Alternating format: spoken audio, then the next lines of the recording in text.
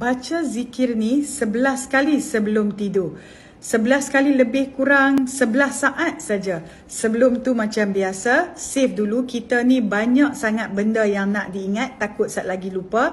Dan jangan lupa sebarkan untuk kita sama-sama kumpul pahala jariah kita. Bila kita sebarkan, share posting-posting yang baik macam ni, insya-Allah walaupun ketika kita tidur, pahala sentiasa mengalir untuk kita semua insya-Allah. Bila baca zikir ni, yang pertama elak daripada gangguan syaitan, yang kedua selamat daripada gangguan jin. Jika ada orang hantar sihir ke apa, dia akan pulang balik kepada si penghantar tersebut. Ha ni ngeri dengar kan.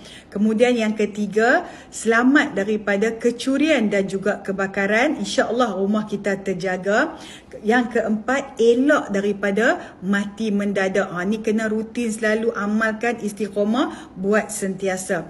Kemudian yang kelima, elak daripada musibah kita ni banyak sangat cabaran dalam dalam hidup. Apakah bacaannya? Bacalah Bismillahirrahmanirrahim sebanyak 11 kali sebelum tidur. 11 kali saja tapi manfaatnya besar dan juga banyak sangat.